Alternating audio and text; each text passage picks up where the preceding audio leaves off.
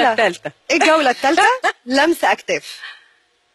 شو يعني؟ هتردي عليا؟ كل جملة هقولها هتقولي لي أوافق أو أرفض أو استثناء.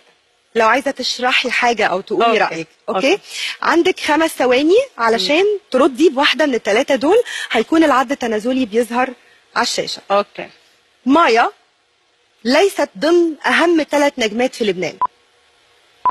أوافق أرفض استثناء. ما بيهمني. تقديم البرامج أهم من إصدار الألبومات. لا. ليه ما بتعمليش ألبومات؟ الألبوم ready هينزل. أنت بقالي كتير بتقولي كده. آه غيرت حاجات. الألبوم خلاص الألبوم آه قرب غيرت الالبوم حاجات. فيه. بصراحة.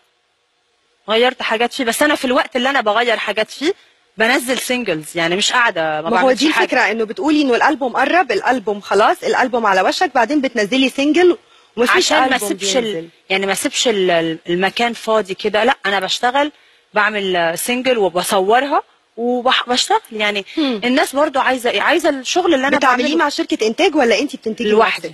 انت بتنتجيه. لنفسك بس؟ السي دي هيكون مع مع شركة مع شركة ليه بتنتجيه لنفسك؟ عشان أنا ابتديت لوحدي من غير قيود ولا شروط حد يعني واشتغلت لوحدي ووصلت لنتيجه حلوة جدا. وصلتي لنتيجه راضيه عنها جدا. تفوقت على رزان في Deal or No Deal لا. غير راضية بنسبة 100% عن نفسي. راضي. يعني موافقة ولا موافقة. موافقة؟ يعني أنا راضي عن نفسي. 100% يبقى أرفض. لا. يبقى بترفضي. السينما النظيفة تلائمني أكتر أكيد بس بدي. اعلق على الموضوع إنه استثناء ما بعرف شو يعني لما بيقولوا سينما نظيفة يعني سينما نظيفة يعني خالية من العري خالية من الإغراء خالية من المشاهد الساخنة أنا عايزة أقول حاجة في مم. الموضوع ده مم. السينما it means ما في قيود هم.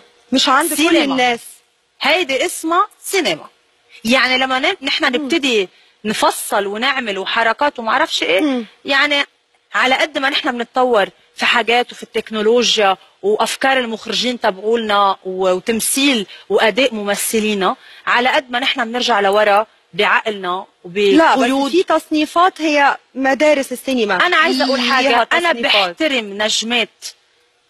أنا بتكلم عن مصر لأنه هي أصلا أم السينما في العالم العربي بدون استثناء.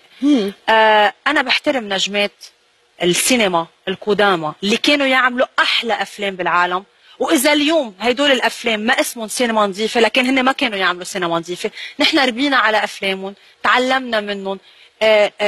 غرنا من نجوميتهم على قد ما هن كبار ومبهرين ناس منهم رحلوا ناس منهم بعدهم مم. موجودين طب عشان- شايفينه عملوا كل حاجة انت بتتكلمي عنها والناس بتتكلم عنها طب إذا كده وأتمنى إن. انت في سؤالك ده تكوني غير مقتنعة بموضوع لا ده ده, ده مصطلح سينمائي موجود وسائد لأنه مش حرام. إنه الموضوع ده شاع كده وبوظ ده مش حاجات كتيرة. اختراعي أنا زائد إنه. لازم اذا إذا إحنا حتى عندنا آراء مختلفة لازم نحترم الآراء التانية في ناس عندها تحفظات على حاجات كتير حتى لو إحنا شخصياتنا ما فيهاش تحفظ على الحاجات دي لازم نحترم الآخر لازم أي. نحترم مشاعرهم أوكي. يعني أنا بالنسبة لي كده آه، إذا إذا كده بتتكلم مايا عن السينما مم.